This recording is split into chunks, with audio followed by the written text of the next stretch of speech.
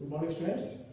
Today we have to discussing about JEE Mains concept. Okay. First topic is complex numbers. So on complex numbers we have discussing JEE Mains concept. So first of all, here I'm taking one problem.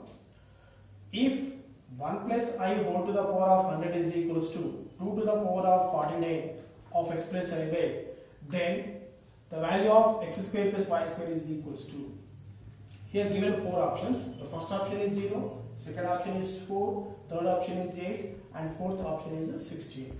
Okay? See here the solution. First of all, the concept of this problem is concept is we know that complex number z is equals to let us consider z is equals to x plus iy. What is the modulus of this complex number? Modulus of z is equals to under root of x square plus y square. This is the concept of modulus of z. Okay. Using this concept, we can solve this problem very easily. Okay. First of all, here I am taking 1 plus i whole to the power of 100 is equals to 2 to the power of 49 of x plus iy. Okay. Now applying modulus function on both sides. Applying modulus function on both sides. Therefore this becomes modulus of 1 plus i whole to the power of 100 is equals to 2 to the power of 49 modulus of x plus i y. Okay now? What is the basic concept of modulus? Modulus of z is equals to root of x square plus y square. Applying here. Now this becomes under root of 1 square 1 plus again 1 square 1. So 1 plus 1 is equal to much? 2. Overall it is becomes root 2. Root 2 whole to the power of 100 is equals to 2 to the power of 49 and under root of x square plus y square. Okay. Root 2 whole to the power of 100. The basic concept is root a is nothing but a to the power of 1 by 2. Same like that root 2 whole to the power of 100 is becomes 2 to the power of 50 by so 2 to the power of 49 is, is equals to root of x square plus y square. Okay. So 2 to the power of 50 by 2 to the power of 14 is nothing but so 2 is equals to root of x square plus y square. But according to problem here asking x square plus y square. So therefore now squaring on both sides. If you squaring on both sides you will get x square plus y square is equals to 2 square is equals to 4. So therefore what is the answer of first one? So second option is the correct answer. Okay. Okay students problem. If amplitude of z is equals to pi by 4 so then the locus of z is the first option y equals to 0 second option x is equals to 0 third option x is equals to y and the fourth option is x plus y is equals to 0 here the concept for solving this problem the concept is first of concept so let us consider it is the x-axis and it is the y-axis okay so right angle triangle I am taking O, A, B. From O to A is equals to distance x. From A to B distance is equals to y. Let us consider is the theta. According to trigonometry, tan theta is equals to opposite side by adjacent side. That means y by x. So next theta is equals to tan inverse of y by x. This theta is equals to tan inverse y by x is nothing but amplitude of z. So that's why the amplitude of z is equals to tan inverse of y by x. That is the concept. Okay. Using this concept, you can solve this problem very simple. Okay. Right amplitude of z is equal to pi by 4. Right. So let us consider z is equal to x plus iy. So what is the amplitude of z is equal to x plus iy? Theta is equal to tan inverse of y by x. Okay. Here given theta is equals to much? Pi by 4. So put theta is equals to pi by 4. Pi by 4 is equals to tan inverse of y by x. Shifting this tan inverse into LHS side. Now it is becomes tan inverse of so sorry, tan inverse shifting tan inverse into LHS side. It becomes tan pi by 4 is, is equals to y by x. Tan 45 is equals to much? 1. So 1 is equals to y by x.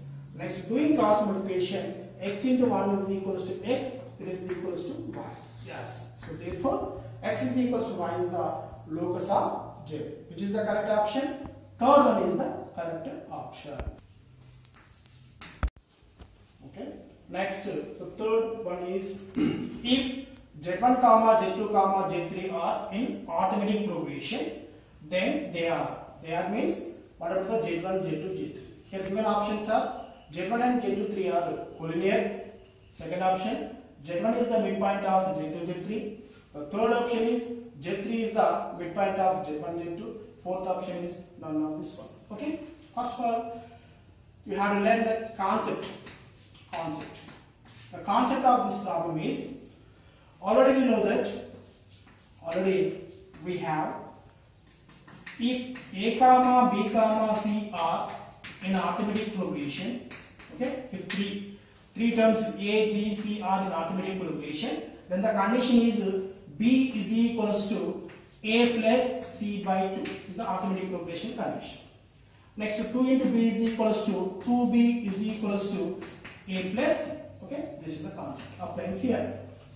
Here given z1 comma z2 comma z3 are in arithmetic progression okay applying that condition z2 is equals to so z1 plus z3 is divided by 2 next doing cross multiplication 2 into z2 is equals to 2z2 2z2 is equals to z1 plus z3 okay if is satisfy this condition z1 plus z3 is equals to 2z2 automatically Z1, Z2, Z3 are collinear. Okay, that is the concept. Okay. okay Next fourth one is find the number of common roots of x to the power of 4 minus 1 equals to 0 and x to the power of 5 minus 1 is equals to 0 is. The options are first option is 4, second option 3, third option is 2 and fourth option is 1. Okay. So first of all here given so given that x to the power of 4 minus 1 is equals to 0 then x to the power of 4 is equals to 1 next x is equals to 1 to the power of 1 by 4 that means so the first one has how many common how many roots? Four roots. So that's why I can write it it has uh, four roots. It has uh, four roots.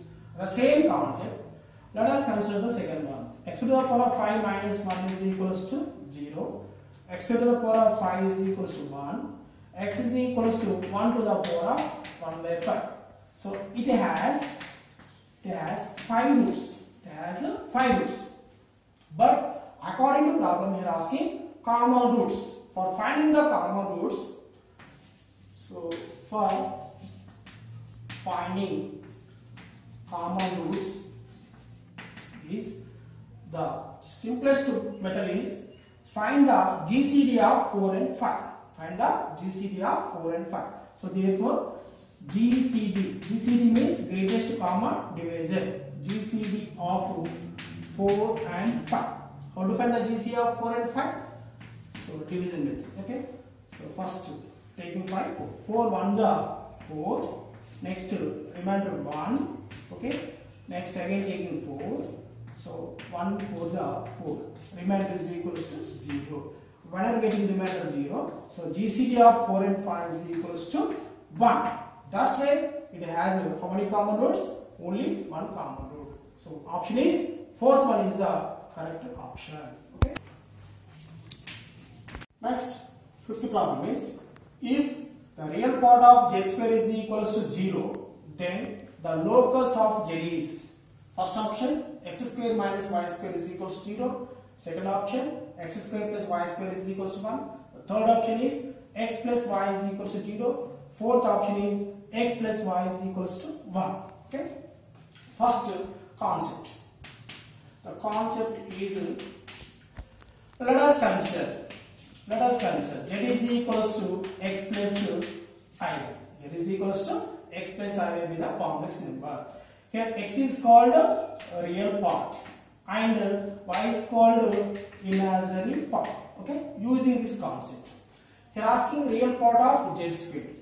Already we have z is equals to complex number x plus iy okay? Now squaring on both sides. So when it is becomes z square is equals to x plus iy whole square z square is equals to now it is in the form of a plus b whole square expand it. So x square plus i square y square plus 2xyi according to Euler mathematician i square is equals to how much? Minus 1 something here. So therefore z square is equals to x square minus y square and plus 2xyi okay? So here asking real part of z square is equals to 0 okay? So therefore the real part of z square is equals to 0 what is the real part of z square uh, tell me? X square minus y square. Submit here. So therefore x square minus y square is, is equals to 0 so therefore the real part of z square is equal to 0 then the locus of is x square minus y square is equals to 0 the first option is the correct option